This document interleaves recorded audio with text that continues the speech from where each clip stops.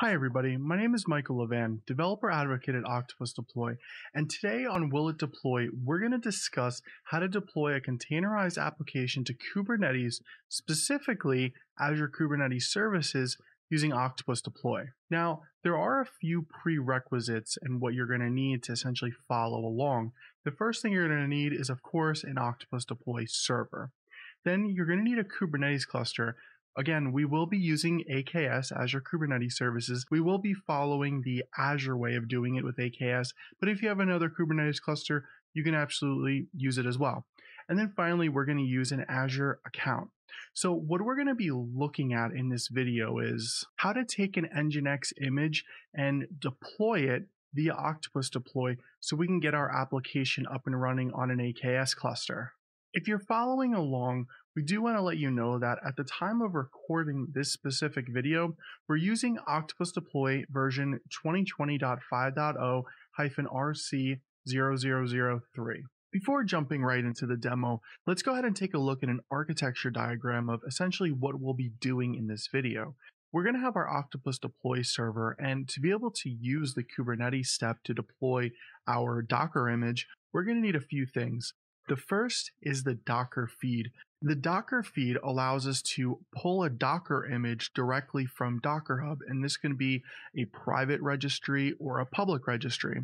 And then we're going to have an AKS deployment target. Now, that deployment target can actually be any Kubernetes cluster in AWS, in Google Cloud, even a raw Kubernetes cluster running on a bare metal server.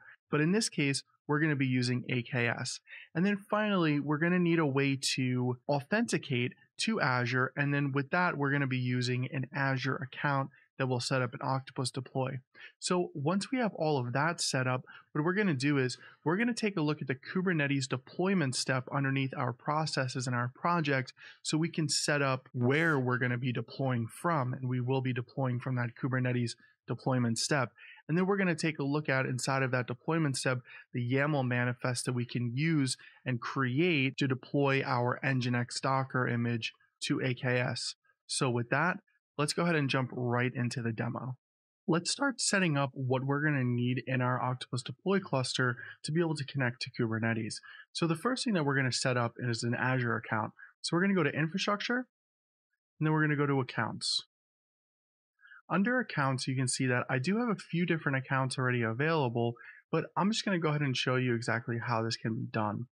Click add account, Azure subscription, and then here you can start setting up a name. So for example, Azure Auth 1, you can give this a description, Azure authentication, and then down here is where you're going to input either the app registration, for example, or a management certificate. So you can put in your subscription ID, you can put in a tenant ID and the application ID based on that service principal, or you can upload a management certificate. So what I've done is I've already created an account that has been tested and I went the service principal route. So I'm going to go back to accounts. I'm going to discard my changes and I'm going to show you the account that already exists. So if I click on here, you can see that I have my subscription ID, tenant ID, application ID, and my password. That's the secret that gets created from a service principal. Next, what we're going to want to do is we're going to want to create a deployment target for AKS. So under infrastructure where we already are, we're going to go up to deployment targets. And again, you can see the same thing here. I do have a few different deployment targets already available. So let's go ahead and actually create a new one. So I'm going to go to add deployment target. So we're going to choose Kubernetes cluster because that's what we're deploying to. And then we're going to click Kubernetes cluster. And then from here, we can give it a name. So we can say AKS2. I already have AKS1 and AKS, so we'll do AKS2. Then I'm going to select the environment that I want. I want to be deploying this to dev. I'm going to choose a new target role. So for example, I can either create a new one or I can add one that already exists. I'm going to use AKS1. And then once I scroll down, I can choose the different authentication method I want to use.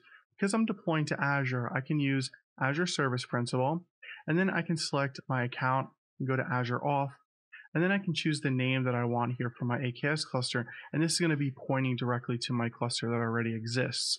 So for example, we can see demo, AKS, Michael Levan, And then my resource group is Michael Levan resources. And then under Kubernetes details, I can essentially choose if I want to go to default, for example, for my namespace, and then the worker pool that I want to use. I'm going to go ahead and I'm going to use the default worker pool. Scrolling down, I can also choose what environment I want to use. In this case, I'm going to use the runs directly on a worker, and this is the worker that's running my Octopus deploy server right now.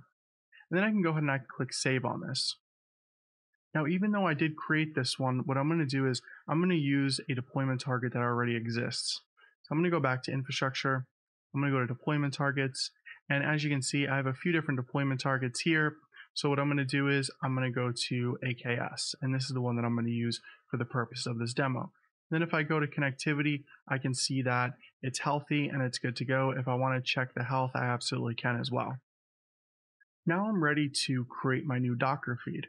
So what I'm going to do is I'm going to go to library, external feeds, and then under external feeds, you can see that I already have a Docker external feed, but we'll go ahead and we'll create a new one anyways.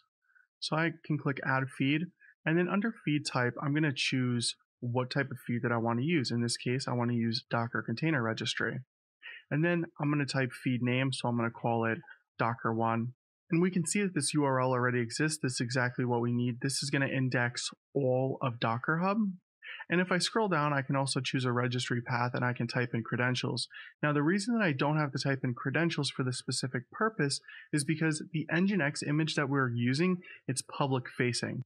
Because the Nginx image is public facing, I don't have to authenticate anywhere, so I don't have to put any, any credentials. So I'm going to click save and test. And then I can test and see that this external feed works. So I can type in Nginx, for example, and click the search button. And as you can see, these are all of the Nginx images that exist on Docker Hub that are public facing and do not require any authentication. So now we're ready to start setting up our steps so we can deploy our Nginx image to AKS. So I'm going to go to projects and then under projects, under one of my existing project groups, I'm just going to create a new project and I'm going to name this Nginx to AKS. I'm going to have it under the Kubernetes deployments project group under my default lifecycle. Then I'm going to click save. Once I'm in here, what I'm going to do is I'm going to go to process and I'm going to choose to add a new step. Now under the choose step template, what I'm going to do is I'm going to go to Kubernetes. Then I'm going to scroll down here and then under the installed step templates, I'm going to deploy Kubernetes. So once I'm in here, what I want to do is I have this step here and I can give this a name if I want to, or I can keep the default name. I can click notes and add in any notes if I want to. I can ensure that this step has the ability to be disabled. I can choose the execution location. In this case, I'm going to be executing against the default worker pool.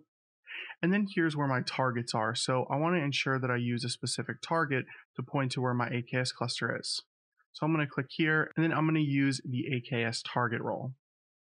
I'm going to ensure that the container image runs directly on the default worker. And then here's where we can edit the YAML. So I'm going to click on edit YAML here. And then I'm going to go ahead and I'm going to bring in some YAML that I've already created. To go over this code, essentially what it's doing is it's giving it a kind of deployment. The type is deployment. We're specifying our name of Nginx Octopus. We're putting it in the default namespace. We're ensuring that it has two replica pods that are going to be created. The strategy is if it already exists, it's going to recreate. And then if we scroll down here, we can look at the image that's being used, which is Nginx, and the port that we're going to be opening, which is port 80. At this point, we're going to click done. We're going to click save. And then if I scroll up all the way to the top, I'm going to create a new release based on this step. So if I click create release, then I click save, and then I'm going to deploy to dev. At this point, I'm going to click the deploy button, and then we're going to now be able to see our deployment run successfully to our AKS cluster. And as we can see, our Nginx image has been deployed successfully. So let's head over to the terminal and confirm that. I'm at my terminal here and I'm going to run kubectl get deployments. And as we can see, our Nginx Octopus image has been successfully deployed. So now let's take a look at what we did. we set up a Docker feed so we could ensure that we could connect to Docker Hub. We then created a AKS deployment target so we could authenticate to our AKS cluster. We created an Azure account for the authentication to the AKS cluster. We then created a new project and then we used the Kubernetes deployment step template to deploy an Nginx image to our AKS cluster. Thank you so much for watching and we'll see you again next time on Will It Deploy.